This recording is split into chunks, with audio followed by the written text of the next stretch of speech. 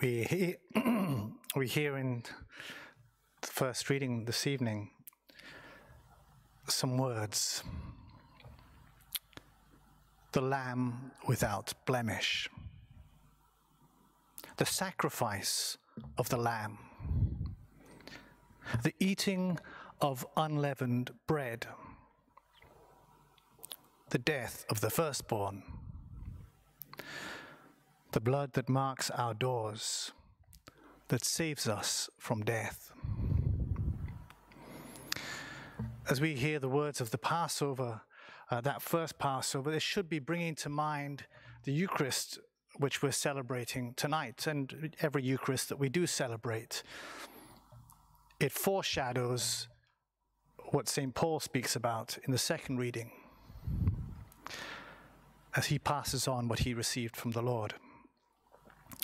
And in each of these things that I've mentioned, something is destroyed so as to bring life. Someone dies so that someone else might live.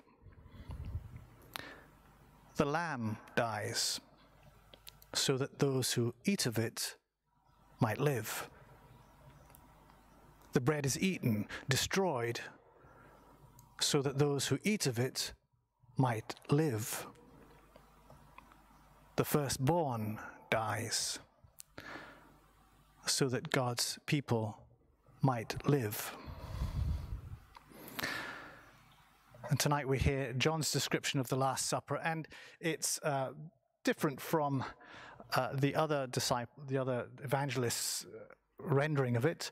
Uh, it is a Passover, but he fails to mention bread and wine and instead talks about the washing of the feet.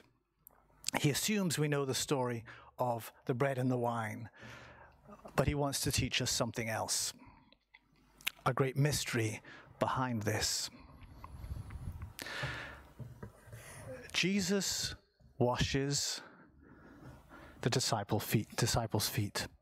He removes his outer garment he lays aside the garment and puts a towel around his waist and does the work of a slave, the lowest form of humanity. He then puts the cloths, the clothes back on again and goes back to the table. He took his garment up again and resumes his place, says another translation.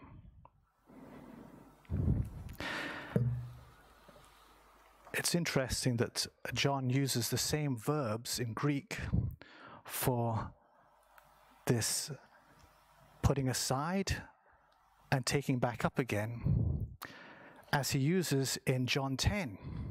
And in John 10, he says, I lay down my life only to take it up again. No one takes it from me. I lay it down of my own accord.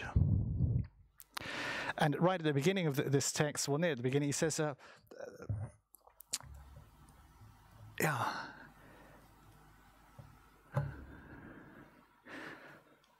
Sorry, I need my glasses for this writing.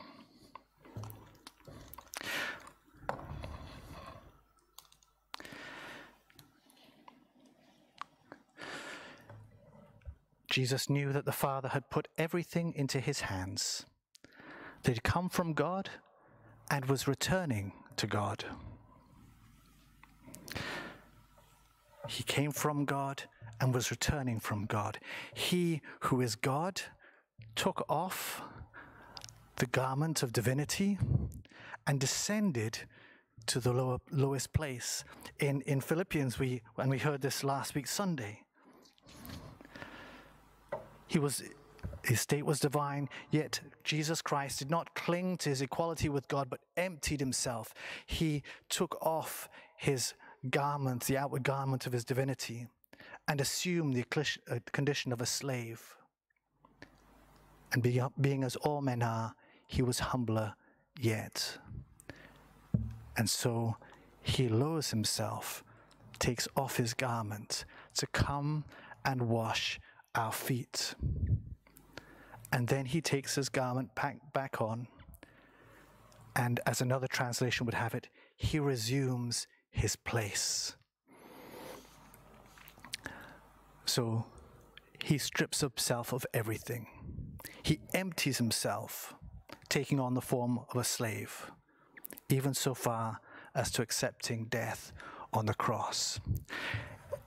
It's not just he came down from heaven, but his flesh, he has taken on flesh, and that flesh now at the, the, the at this paschal tide during his death, his suffering and death, this is what he lays aside as his flesh is stripped from him. And as it is stripped from him, he washes us. He lowers himself to assume the condition of a slave but, and dies on the cross. And that dying on the cross is where he washes us in his blood. He pours the blood over us, over, he marks our homes with his precious blood.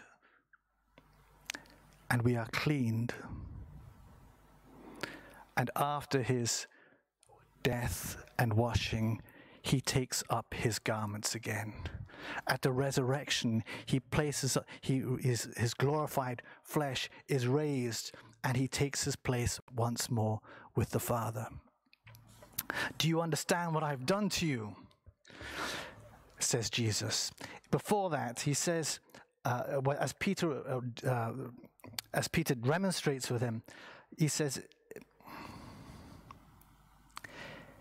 If I do not wash you, you can have nothing in common with me.